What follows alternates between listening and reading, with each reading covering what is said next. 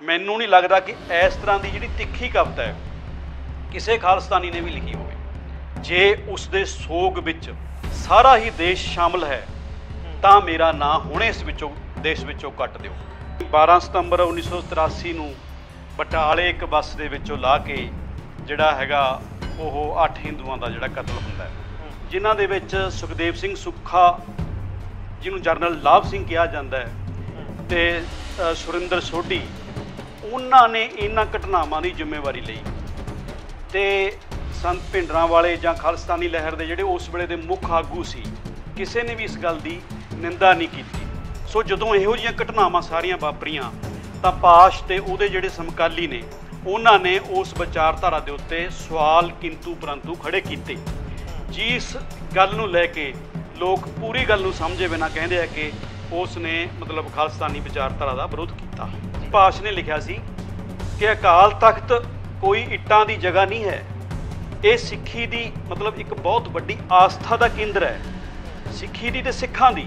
ਔਰ ਕੋਈ ਵੀ ਬੰਦਾ ਅੱਜ ਪਾਸ਼ ਦੀ ਇਹ ਲਿਖਤ ਸਾਡੇ ਸਾਹਮਣੇ ਰੱਖੇ, ਜਿਹਦੇ ਵਿੱਚ ਪਾਸ਼ ਨੇ ਇਹ ਕਿਹਾ ਹੋਵੇ ਕਿ ਮੈਂ ਹਮਲੇ ਦੇ ਹੱਕ 'ਚ ਹਾਂ, ਮੈਂ ਸਰਕਾਰ ਦੇ ਹੱਕ 'ਚ ਹਾਂ।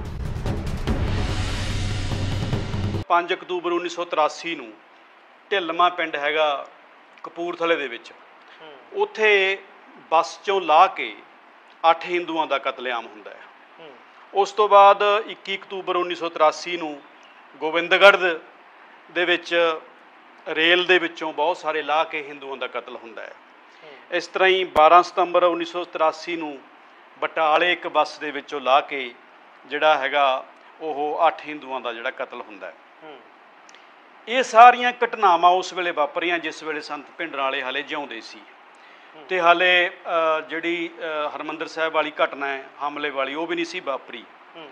ਤੇ ਉਹਨਾਂ ਦੇ ਜਿਹੜੇ ਸਾਥੀ ਸੀਗੇ ਉਹਨਾਂ ਨੇ ਜਿਨ੍ਹਾਂ ਦੇ ਵਿੱਚ ਸੁਖਦੇਵ ਸਿੰਘ ਸੁੱਖਾ ਜਿਹਨੂੰ ਜਰਨਲ ਲਾਭ ਸਿੰਘ ਕਿਹਾ ਜਾਂਦਾ ਹੈ ਤੇ ਸੁਰਿੰਦਰ ਸੋਢੀ ਉਹਨਾਂ ਨੇ ਇਹਨਾਂ ਘਟਨਾਵਾਂ ਦੀ ਜ਼ਿੰਮੇਵਾਰੀ ਲਈ। ਤੇ ਸੰਤ ਭਿੰਡਰਾਂ ਵਾਲੇ ਜਾਂ ਖਾਲਸਤਾਨੀ ਲਹਿਰ ਦੇ ਜਿਹੜੇ ਉਸ ਵੇਲੇ ਦੇ ਮੁੱਖ ਆਗੂ ਸੀ ਕਿਸੇ ਨੇ ਵੀ ਇਸ ਗੱਲ ਦੀ ਨਿੰਦਾ ਨਹੀਂ ਕੀਤੀ। ਸੋ ਪਾਸ਼ ਨੂੰ ਇਹ ਲੱਗ ਰਿਹਾ ਸੀ ਕਿ ਪੰਜਾਬ ਜਿਹੜਾ ਹੈਗਾ ਜਿਹਨੂੰ ਅਸੀਂ ਕਹਿੰਦਾ ਕਿ ਪੰਜਾਬ ਜਿਉਂਦਾ ਗੁਰਾਂ ਦੇ ਨਾਂ ਤੇ। ਪੰਜਾਬ ਦੇ ਵਿੱਚ ਬਹੁਤ ਧਰਮੀ ਦੇਸ਼ ਹੈ। ਇਹਦੇ ਵਿੱਚ ਹਿੰਦੂ ਵੀ ਨੇ ਇਹਦੇ ਵਿੱਚ ਸਿੱਖ ਵੀ ਨੇ ਈਸਾਈ ਵੀ ਨੇ। ਸੋ ਇਸ ਤਰ੍ਹਾਂ ਕੋਈ ਵੀ ਸਿੱਖੀ ਦਾ ਜਾਂ ਸਿੱਖ ਰਾਜ ਦਾ ਟੀਚਾ ਹਾਸਲ ਨਹੀਂ ਕੀਤਾ ਜਾ ਸਕਦਾ ਇੱਕ ਸੈਕਸ਼ਨ ਨੂੰ ਮਾਰ ਕੇ ਇੱਕ ਧਰਮ ਦੇ ਲੋਕਾਂ ਨੂੰ ਮਾਰ ਕੇ। ਸੋ ਜਦੋਂ ਇਹੋ ਜਿਹੀਆਂ ਘਟਨਾਵਾਂ ਸਾਰੀਆਂ ਵਾਪਰੀਆਂ ਤਾਂ ਪਾਸ਼ ਤੇ ਉਹਦੇ ਜਿਹੜੇ ਸਮਕਾਲੀ ਨੇ ਉਹਨਾਂ ਨੇ ਉਸ ਵਿਚਾਰਧਾਰਾ ਦੇ ਉੱਤੇ ਸਵਾਲ ਕਿੰਤੂ ਪਰੰਤੂ ਖੜੇ ਕੀਤੇ। ਜਿਸ ਗੱਲ ਨੂੰ ਲੈ ਕੇ ਲੋਕ ਪੂਰੀ ਗੱਲ ਨੂੰ ਸਮਝੇ ਬਿਨਾਂ ਕਹਿੰਦੇ ਆ ਕਿ ਉਸ ਨੇ ਮਤਲਬ ਖਾਲਸਤਾਨੀ ਵਿਚਾਰਧਾਰਾ ਦਾ ਵਿਰੋਧ ਕੀਤਾ। ਜੀ ਗੱਲ ਜੇ ਇਕੱਲੇ ਕਿੰਤੂ ਪਰੰਤੂ ਦੀ ਕੀਤੀ ਜਾਵੇ ਤਾਂ ਗੱਲ ਕੋਈ ਬਹੁਤੀ ਵੱਡੀ ਲੱਗਦੀ ਨਹੀਂ। ਪਰ ਸਵਾਲ ਇਹ ਉੱਠਦੇ ਆ ਫਿਰ ਅਵਤਾਰ ਪਾਸ਼ ਤੇ ਕਿ ਅਕਾਲ ਤਖਤ ਸਾਹਿਬ ਦੇ ਟਾਈਮ ਨੂੰ ਅਵਤਾਰ ਪਾਸ਼ ਨੇ ਬਹੁਤ ਚੰਗਾ ਕਿਹਾ। ਇਹ ਵੀ ਗੱਲਾਂ ਆਉਂਦੀਆਂ ਕਿ ਉਦੋਂ ਜਿਹੜਾ ਕਮਿਊਨਿਸਟਾਂ ਦਾ ਸੈਕਸ਼ਨ ਸੀ ਉਹਨਾਂ ਨੇ ਇਹ ਵੀ ਕਿਹਾ ਕਿ ਹਾਂ ਜਿਹੜਾ ਸਰੋਵਰ ਆ ਉਹਦੇ ਵਿੱਚ ਝੋਨਾ ਲਾ ਦੇਣਾ ਚਾਹੀਦਾ ਇਹ ਤਾਂ ਕੱਲੀ ਇੱਟਾਂ ਦੀ ਇਮਾਰਤ ਆ ਇਹਦੇ ਵਿੱਚ ਕੀ ਸਚਾਈ ਆ? ਇਹਦੇ ਕੋਈ ਹੈ ਐਵੀਡੈਂਸ ਕਿ ਅਵਤਾਰ ਪਾਸ਼ ਨੇ ਨਹੀਂ ਕਿਹਾ ਹੈਗਾ ਇਹ ਸਭ ਤੋਂ ਵੱਡਾ ਝੂਠ ਹੈ। ਕਿਸੇ ਨੇ ਗੱਲ ਨਹੀਂ ਕਹੀ ਕਿ ਝੋਨਾ ਲਾ ਦੇਣਾ ਚਾਹੀਦਾ ਪਾਸ਼ ਦੀ ਜਿਹੜੀ ਲਿਖਤ ਹੈ ਪਾਸ਼ ਦੀ ਲਿਖਤ ਹੈਗੀ ਐਂਟੀ 40 ਸੈਵਨ ਫਰੰਟ ਜਿਹੜਾ ਉਹਨੇ ਬਣਾਇਆ ਔਰ ਉਹਨਾਂ ਦਾ ਇੱਕ ਪਰਚਾ ਨਿਕਲਦਾ ਸੀ ਉਸ ਵੇਲੇ ਉਸ ਪਰਚੇ ਦਾ ਨਾਮ ਸੀਗਾ ਐਂਟੀ 47 ਹੂੰ। ਔਰ ਉਹਦੇ ਵਿੱਚ ਪਾਸ਼ ਦੀਆਂ ਕੁਝ ਲਿਖਤਾਂ ਆਈਆਂ। ਜਦੋਂ ਇੰਦਰਾ ਗਾਂਧੀ ਨੇ ਅਕਾਲ ਤਖਤ ਸਾਹਿਬ ਨੂੰ ਦੁਬਾਰਾ ਬਣਾਉਣ ਦੀ ਕੋਸ਼ਿਸ਼ ਕੀਤੀ ਹਮਲੇ ਤੋਂ ਬਾਅਦ ਕਿਉਂਕਿ ਇੰਦਰਾ ਗਾਂਧੀ ਦੇ ਬਹੁਤ ਸਾਰੇ ਜਿਹੜੇ ਉਸ ਦੇ ਨੇੜਲੇ ਬੰਦੇ ਸੀ ਪੋਲੀਟੀਕਲ ਔਰ ਬਿਊਰੋਕਰੇਟ ਦੋਨਾਂ ਨੇ ਕਿਹਾ ਕਿ ਤੁਹਾਨੂੰ ਤੁਸੀਂ ਬਹੁਤ ਵੱਡੀ ਮਿਸਟੇਕ ਕਰ ਚੁੱਕੇ ਹੋ ਬਹੁਤ ਵੱਡੀ ਗਲਤੀ ਤੁਸੀਂ ਕਰ ਚੁੱਕੇ ਹੋ ਤੁਹਾਨੂੰ ਅਕਾਲ ਤਖਤ ਨੂੰ ਦੁਬਾਰਾ ਬਣਾਉਣਾ ਚਾਹੀਦਾ ਤਾਂ ਉਸ ਵੇਲੇ ਪਾਸ਼ ਨੇ ਲਿਖਿਆ ਸੀ ਕਿ ਅਕਾਲ ਤਖਤ ਕੋਈ ਇੱਟਾਂ ਦੀ ਜਗ੍ਹਾ ਨਹੀਂ ਹੈ। ਇਹ ਸਿੱਖੀ ਦੀ ਮਤਲਬ ਇੱਕ ਬਹੁਤ ਵੱਡੀ ਆਸਥਾ ਦਾ ਕੇਂਦਰ ਹੈ। ਸਿੱਖੀ ਦੀ ਤੇ ਸਿੱਖਾਂ ਦੀ। ਸੋ ਇਸ ਕਰਕੇ ਤੁਸੀਂ ਅਕਾਲ ਤਖਤ ਨੂੰ ਤਾਂ ਅੱਜ ਦੁਬਾਰਾ ਬਣਾ ਦਿਓਗੇ। ਪਰ ਉਹਨਾਂ ਹਜ਼ਾਰਾਂ ਲੋਕਾਂ ਦਾ ਕੀ ਕਰੋਗੇ? ਹਜ਼ਾਰਾਂ ਮੁੰਡਿਆਂ ਦਾ ਕੀ ਕਰੋਗੇ? ਜਿਹੜੇ ਇਸ ਸਾਰੇ ਝਾਂਜਟ ਦੇ ਵਿੱਚ ਮਾਰੇ ਗਏ। ਕੀ ਇਹਦਾ ਕੋਈ ਲਿਖਤੀ ਐਵੀਡੈਂਸ ਹੈ? ਬਿਲਕੁਲ ਬਿਲਕੁਲ। ਹੂੰ। 84 ਤੋਂ ਬਾਅਦ ਐਂਟੀ 47 ਦਾ ਜਿਹੜਾ ਪੇਪਰ ਛਪਿਆ ਉਹਦੇ ਵਿੱਚ ਪ- ਬਕਾਇਦਾ ਪਾਸ਼ ਦੀ ਇਹ ਲਿਖਤ ਹੈ।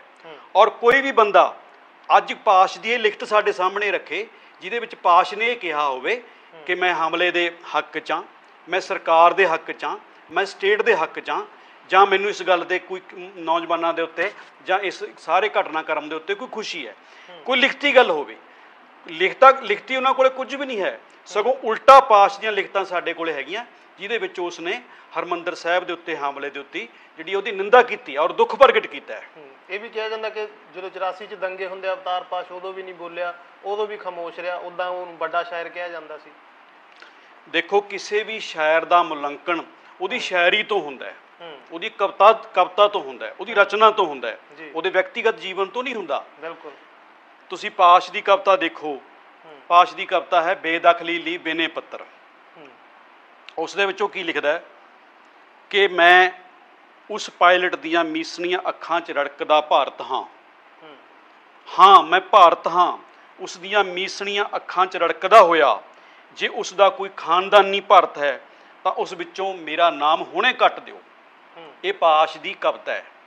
ਜਿਹੜਾ ਕਿ ਰਜੇਸ਼ ਪਾਇਲਟ, ਜਿਹੜਾ ਜਗਦੀਸ਼ ਟਾਈਟਲਰ ਵਰਗੇ ਲੋਕ ਦਿੱਲੀ ਦੇ ਦੰਗਿਆਂ ਦੇ ਵਿੱਚ ਸ਼ਾਮਲ ਸੀ, ਤਾਂ ਉਸ ਵੇਲੇ ਉਹਨਾਂ ਨੂੰ ਕੰਡੈਮ ਕਰਦੀ ਹੋਈ ਕਵਿਤਾ ਮੈਨੂੰ ਲੱਗਦਾ ਕਿ ਪੰਜਾਬੀ ਦੇ ਵਿੱਚ ਜੇ ਕੋਈ ਜ਼ਬਰਦਸਤ ਕਵਿਤਾ ਲਿਖੀ ਗਈ ਉਹ ਬੇਦਖਲੀ ਲਈ ਬਿਨੇ ਪੱਤਰ ਹੈ।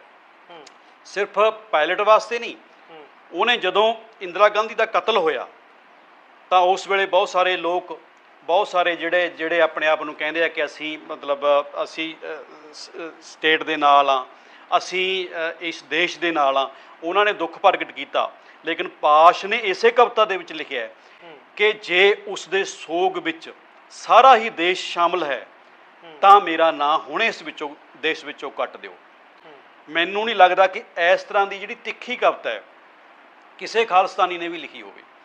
ਤੁਸੀਂ ਖਾਲਸਤਾਨੀ ਜਿਹੜੇ ਕਵੀ ਆ, ਉਹਨਾਂ ਦੀਆਂ ਤੁਸੀਂ ਮੈਨੂੰ ਕਵਿਤਾਵਾਂ ਚੱਕੋ, ਉਹਨਾਂ ਦਾ ਲਿਟਰੇਚਰ ਚੱਕੋ, ਕਿਸੇ ਨੇ ਵੀ ਇਸ ਤਰ੍ਹਾਂ ਦਾ ਜਿਹੜੀ ਪੋਲੀਟੀਕਲ ਸਟੇਟਮੈਂਟ ਤੱਕ ਦੀ ਕੋਈ ਪੋਇਟਰੀ ਹੋਵੇ, ਉਹ ਸਾਡੇ ਸਾਹਮਣੇ ਆਉਂਦੀ ਹੋਵੇ, ਇਹ ਐਡੀ ਦਲੇਰੀ ਹੈ ਜਿਹੜੀ ਉਹ ਪਾਸ਼ ਵਰਗਾ ਇੱਕ ਵਾਹਿਦ ਕਵੀ ਆ ਜਿਹੜਾ ਉਹੀ ਕਰ ਸਕਦਾ ਸੀ ਔਰ ਉਹਨੇ ਕੀਤੀ ਔਰ ਬਾਖੂਬੀ ਕੀਤੀ ਹੈ ਔਰ ਉਹਦੀ ਪੂਰੀ ਜਿਹੜੀ ਹੈ ਚਰਚਾ ਹੋਈ ਔਰ ਮੈਨੂੰ ਲੱਗਦਾ ਕਿ ਇੰਨਾ ਨਾਂ ਲੈ ਕੇ ਇੱਕ ਇਸ ਤਰ੍ਹਾਂ ਦਾ ਜਿਹੜਾ ਚੈਲੰਜ ਹੈ ਪੋਇਟਰੀ ਦੇ ਵਿੱਚ, ਉਹ ਪਾਸ਼ ਤੋਂ ਬਿਨਾ ਉਸ ਵੇਲੇ ਦੇ ਸਮਕਾਲ ਦੇ ਵਿੱਚ, ਉਹਨਾਂ ਦੇ ਸਮਕਾਲ ਦੇ ਵਿੱਚ ਕਿਸੇ ਨੇ ਨਹੀਂ ਕੀਤਾ।